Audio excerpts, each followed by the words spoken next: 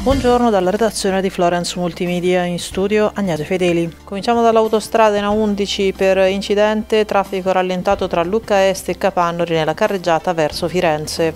Al momento in Scipili troviamo rallentamenti per lavori tra Montelupo e Ginestra nelle due direzioni, percorso alternativo sulla SP12 della Val di Pesa. Ricordiamo che in conseguenza dell'emergenza sanitaria coronavirus occorre limitare ogni tipo di spostamento questo proposito informiamo inoltre che l'offerta commerciale di Trenitalia e di ATAF a Firenze sono rimodulate e che l'aeroporto di Firenze sospende temporaneamente la propria attività. A Firenze inoltre, sempre in conseguenza dell'emergenza sanitaria coronavirus, sosta gratis fino al 25 marzo nei parcheggi degli ospedali fiorentini di Careggi e del Meyer.